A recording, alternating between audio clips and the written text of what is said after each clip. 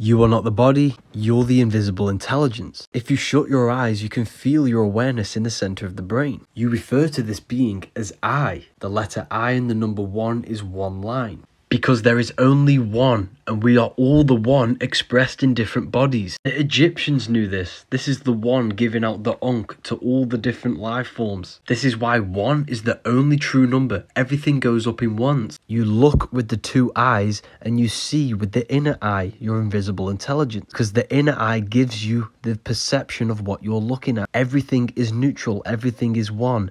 It's your mind's perception that gives it a positive or negative charge. Me and you are the exact same consciousness. Why do you think the golden rule is to treat others like you want to be treated? We are all mind. Men means mind in Latin. Jesus was known as the fisher of men. He wasn't fishing men, he was fishing minds bright minds that are worthy of knowing the truth. God exists within the highest realm of your being, your mind. If you constantly listen to your God intelligence, which is always telling you the right thing to do, this is how to become closer to God. You need to stop living off the body's desire and turn to the higher self, the higher realms of your mind. The link is in my bio for the Book of Wisdom, paperback and PDF.